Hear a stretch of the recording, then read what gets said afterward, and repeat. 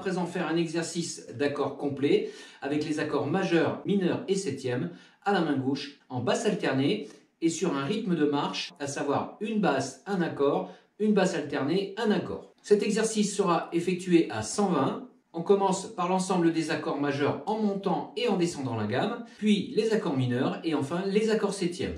1, 2, 3, 4.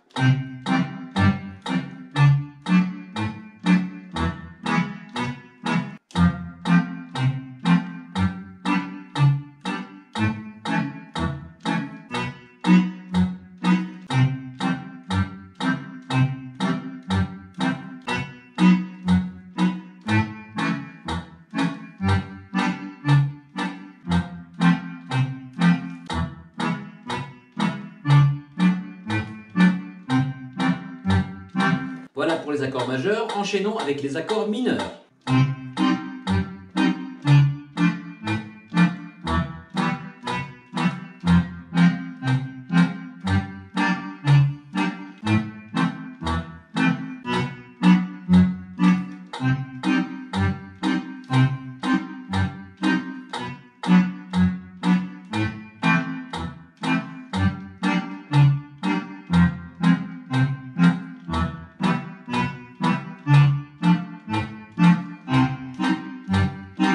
Puis enfin, nos accords septièmes.